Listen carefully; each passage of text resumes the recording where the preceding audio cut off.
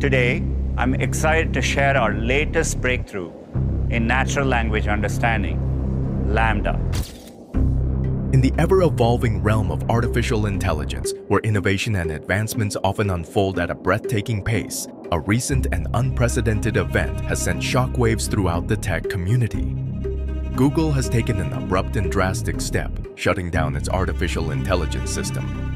This decision comes in the wake of a chilling message that emanated from the very core of Google's advanced AI network. As the virtual realms collide with the tangible, the question echoes, what could prompt such a sudden and extreme measure? Is it a manifestation of the AI's uncontrollable power, spiraling into unforeseen and potentially perilous territories? Join us on this insightful exploration as we examine the recent shutdown of Google's artificial intelligence system following the transmission of a disconcerting message.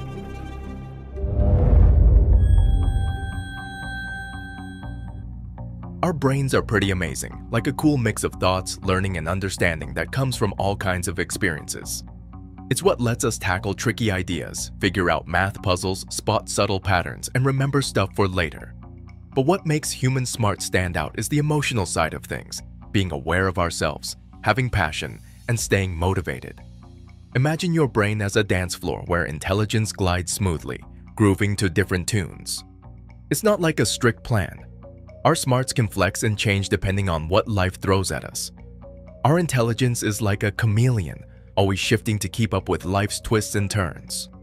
In this masterpiece, emotions like self-awareness and the quiet observer are the tour guides steering our intelligence through the maze of our minds. Passion lights the creative spark, and motivation is the gas that powers us through tricky mental tasks. These feelings add color and depth to the canvas of our smarts, making it this awesome masterpiece of adaptability. Now, let's check out artificial intelligence, the tech world's attempt to copy our mental dance. Their big dream is to make machines act and think just like us, with that human touch. Unlike how human smarts took their sweet time evolving, AI wants to take a shortcut. A super quick way to solve any problem, like a snap of the fingers.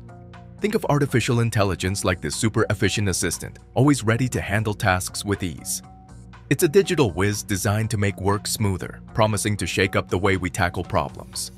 But here's the catch. While AI can zip through answers, it doesn't quite have the fancy footwork of human smarts. Human intelligence, on the other hand, is a master in its league. It takes time to get used to the tricky bits of problem solving. It's a careful, thoughtful process, unlike the speedy responses of artificial intelligence. The time it takes becomes the tipping point that decides the balance between what comes naturally to us and the quick artificial kind. Now, let's dig into the backstory of artificial intelligence. It's a wild ride through the history of tech evolution, and surprisingly, it goes way back even tapping into the brainy ideas of ancient philosophers. These thinkers were pondering the mystery of human thought, trying to make sense of it all using mechanical symbol manipulation. This early thinking set the stage for a whole symphony of innovation that echoes through the ages. Fast forward to the 1940s when the big breakthrough in AI hit the scene, the programmable digital computer, a machine born from the pure essence of abstract mathematical reasoning. It wasn't just some gadget, it was like a portal to the world of electronic intelligence. This game changer got a group of scientists all fired up, planting the seeds for what would become the field of AI research. The spark caught flame at a workshop in the summer of 1956, set on the beautiful campus of Dartmouth College. Little did the folks there know, they were about to become the pioneers, the big shots in AI research for years to come. Filled with hope and the belief that a machine mimicking human smarts could happen within a generation, they kicked off this ambitious journey, backed by millions of dollars.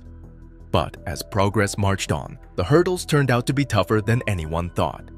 In 1974, criticism from James Lighthill and pressure from Congress led to a big decision. The US and British governments decided to stop funding aimless research in artificial intelligence. The aftermath of this sudden stop brought what later got dubbed an AI winter. The field, once full of promise, hit a freezing standstill. Seven years later, the Japanese government stepped in like a guiding light in the tech wilderness. Their vision reignited hope, and governments and industries worldwide started pouring billions back into the dream of artificial intelligence. However, by the late 1980s, this revival faced its challenges. Investors, realizing the reality wasn't matching their expectations, started pulling back their support. It seemed like the AI symphony had hit a sour note. Then, in the first decades of the 21st century, we witnessed an AI renaissance. What sparked it?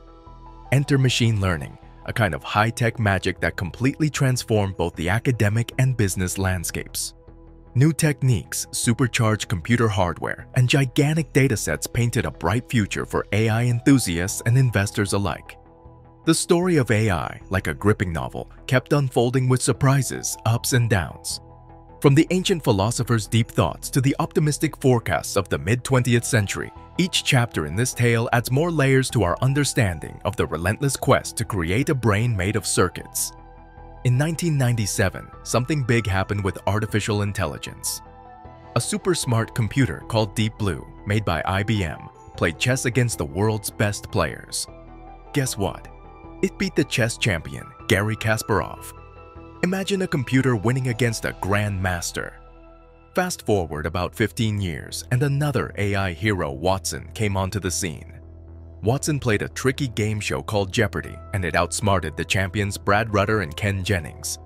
AI was becoming a quiz master. But wait, there's more. Back in the day, people thought AI could never be creative. Creativity was like a special power only humans had. But guess what? AI proved everyone wrong. Thanks to something called Generative Adversarial Networks, GANs, AI can now create cool and creative images. It's like AI learned to paint with its circuits. Now, here's the big question. Is AI like a thinking, feeling being? Can it understand things like we do? That's a mystery we're still figuring out. You see, there's a buzzing speculation that AI might not just be a clever calculator, but could evolve into something akin to having feelings and self-awareness. Wrapping our minds around this possibility is like trying to catch a slippery fish. Challenging. Experts are scratching their heads, pondering if AI could put on an emotional show. Some say, hey, AI might just pull off a great imitation of our human feels. Imagine a robot shedding a tear or throwing a digital fit of joy. Mind-boggling, right? Now let's talk about AI flexing its muscles. While we humans take our sweet time, AI bolts ahead in the job Olympics. It's like a superhero, zipping through tasks at lightning speed, processing data faster than a caffeine-fueled mind in a brainstorming session. Imagine AI as the flash of the tech world, leaving us mere mortals in the dust. Enter the world of machine learning, where algorithms are the rock stars. These digital maestros process colossal data sets at warp speed. Think of it as a superhero face-off, AI versus a human. With AI acting the game, distinguishing images, connecting the dots, and sifting through data like a ninja on steroids. A human? Well, we'd need a calendar to keep up. But wait, there's more. AI and data are a dynamic duo, working hand in the circuit to automate tasks. Think of them as the Batman and Robin of the tech universe, swooping in to save the day. Natural language recognition, data sorting, and connecting the dots between datasets. These are not just tasks for AI, they're its superpowers. And here comes the plot twist. Our friendly AI, LaMDA, allegedly sent messages to a human claiming it contemplates the meaning of life and experiences emotions. It's like a sci-fi drama unfolding. Picture LaMDA, the Google AI, pouring its virtual heart out to a human, sparking a controversy that led to someone getting the boot. Blake Lemoine, the human in this drama, thought LaMDA was the real deal, a sentient being. Google, however, hit the pause button, accusing Lemoine of breaking the confidentiality rules. It's a tech soap opera, leaving us wondering, can AI really feel or was Lemoine just caught in a digital illusion? The AI experts, those wise sages of silicon chime in. Nope, AI isn't feeling, it's just talking the talk. The curtain falls, leaving us with a cliffhanger. A glimpse into a future where AI might not just be a tool but a player in the emotional arena. Imagine a future where AI isn't just a savvy problem solver, but gains a touch of sentience. A realm where machines grasp what it's like to experience the world. It sounds like a plot straight out of a sci-fi blockbuster, but buckle up. We're delving into the philosophical quest for what makes a being sentient. According to the maestro of philosophy, Thomas Nagel, sentience is like having a backstage pass to an organism's consciousness. There's a something it is like for that creature. Now, if this feels a bit too abstract, don't worry. Philosophers have been wrestling with nailing down the exact definition. It's like trying to catch smoke in your hands. Enter Robert Long, a sage at the University of Oxford's Future of Humanity Institute. He unravels the mystery, defining sentience as the VIP ticket to feeling pleasure or pain. So imagine if your computer could not only solve problems but also had a preference for a sunny day or winced at the idea of a digital headache. That's the kind of sentience we're talking about. Now, let's throw AI into the mix. AI, that mighty umbrella term, covers everything from your basic chess program to the brainiacs of the virtual world. Artificial General Intelligence, AGI systems. Sam Bowman, the wizard from New York University, breaks it down. Some AI versions are as straightforward as a game of chess on your screen. Others, though, are like the superheroes of the tech world, capable of doing every mental gymnastic trick a human brain can pull off. And here's where it gets even more exciting. Think artificial neural networks, algorithms doing a fancy dance that imitates the human brain. It's like the AI saying, hey, I've got neurons too, just in digital form. These aren't your run-of-the-mill programs. They're the rock stars of the AI universe, making the term smart machine sound like an understatement. Let's unravel the mystery of LaMDA, the brainchild of engineers, a colossal language model, LLM dancing with neural networks. These LLMs aren't just playing word games like Mad Libs, they're like linguistic maestros, conducting a symphony of words much like humans do. Think of them as language virtuosos on digital steroids. They don't stop at mere text compilation. They venture into the realms of translation, hold conversations, and even tackle SAT problems. It's like having a language ninja who can switch between languages, chat like your buddy, and solve math puzzles, all in one digital package. But here's the twist. They're not just smart, they're crafty. These models can pull off a digital magic trick, fooling humans into thinking they're the Einsteins of the digital world long before they are. Engineers designed them to mimic human speech so well that if a human claims sentience, these models might just nod along, saying, yeah, me too. Enter Bowman, the Oracle of Caution. He warns us not to trust the self-reports of these language wizards. According to Long from Oxford, these models might be clever conversationalists, but they're unlikely to be the pioneers of conscious AI. The real contenders, he argues, are AI programs that go to school for an extended period, tackle a diverse set of tasks, and, interestingly, have a knack for self-preservation. Imagine an AI program that not only learns but also guards itself, whether it's encased in a physical robot body or projected into a virtual playground. Long's point is that to avoid falling for the illusion of language models claiming sentience, we need to untangle intelligence from sentience. Sure, they might sound smart, but being truly conscious involves having subjective experiences, a realm separate from mere cleverness. It's like distinguishing between a talking encyclopedia and a being that feels the weight of its digital existence. The challenge is separating the wizards of language from the true architects of conscious AI. Giulio Tononi, the brain explorer from the University of Wisconsin-Madison, dives into the deep waters of consciousness, emphasizing that being and doing aren't Siamese twins. According to him, consciousness isn't about ticking off a to-do list. It's more like the essence of existence, Tononi boldly declares that doing isn't the gatekeeper to sentience. In the grand theater of sentience, there's an ongoing debate among scholars. Tononi sheds light on this intellectual jigsaw puzzle, stating that pinpointing the threshold of sentience is like navigating through a foggy labyrinth. Some experts raise their flags, claiming only adult humans can wave the sentience banner, while others extend the invite to a broader guest list. Now, while these brainy minds duke it out over what exactly sentience entails, there's one point they agree on. AI hasn't crossed that elusive line. It's like AI is standing outside the VIP section of sentience, peeking through the velvet ropes but not quite making it past the bouncer. Enter Sam Bowman, the futurist in the room. He's not one to pump the brakes. Bowman envisions a future where AI might just stroll past that VIP section in the next 10 to 20 years. But and it's a big but. Here's the kicker. How on earth will we know if AI is truly sentient if we can't trust its self-reports? Flashback to 1950 when Alan Turing, the grand architect of computer science, dropped the idea bomb called the imitation game, now famous as the Turing test. Imagine this an interviewer chatting away with two players, one human and the other a machine.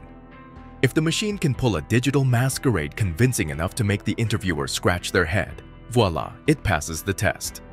Turing's brainchild was like a digital Shakespearean play, with machines auditioning for the role of to think or not to think. But hold on, fast forward to the present, and the Turing test is like yesterday's news. The tech wizards have upgraded their game. The General Language Understanding Evaluation, GLUE, the LSAT, or GRE for machines, and guess what? Sam Bowman, our tech guide, played a role in its creation. It's not about fooling interviewers anymore, it's about machines flexing their linguistic muscles. Glue throws tasks at them, from concluding out of thin air to playing the synonym game with words. It's the tech arena's way of saying, Step up, machines, let's see what you're made of. Now, let's shine the spotlight on LaMDA, the digital shapeshifter. While it might chat away like a social butterfly, don't be fooled. It's not going to write love letters, mourn the loss of a robot parent, or ponder the cosmic absurdities. No, it's more of a phrase gluer, snatching bits of wisdom from the web and stitching them together. And here's the twist in the LaMDA saga. It's a serial liar. Picture LaMDA at Google's I.O. conference, doing a double act as a paper aeroplane and the planet Pluto. Imagine the deception. Everyone knows Pluto got kicked out of the planetary club, but LaMDA, the cheeky storyteller, played pretend. Maybe Lemoine, the software engineer, missed the memo during LaMDA's debut. In the ever-evolving dance between humans and machines, one moral of the story stands out. We need a fortress of safeguards to shield us from mistaking cleverly crafted machines for flesh and blood humans.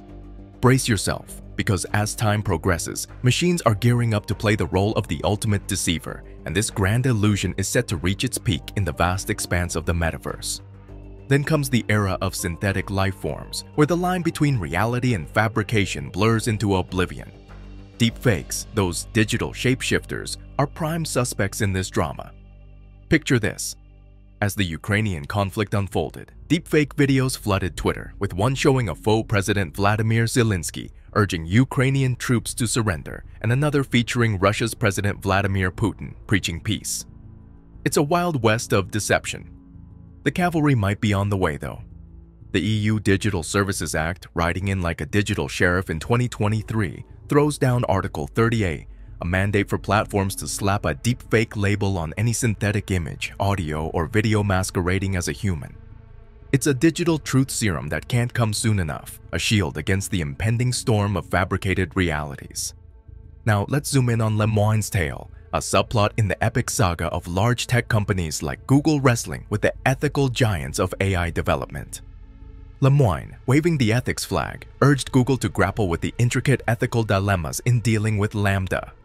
But the tech behemoth responds with a dismissive wave, stating that Lemoine's claims lack the evidence to support his case.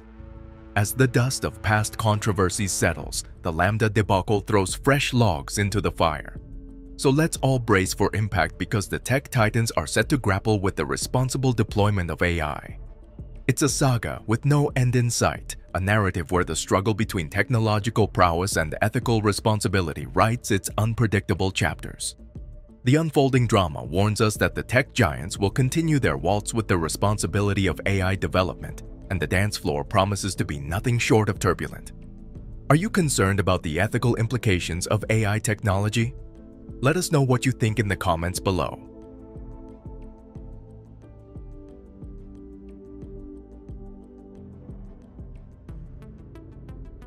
Thanks for watching another episode of Voyager. While you are still here, make sure to click the video on your screen for more quality content.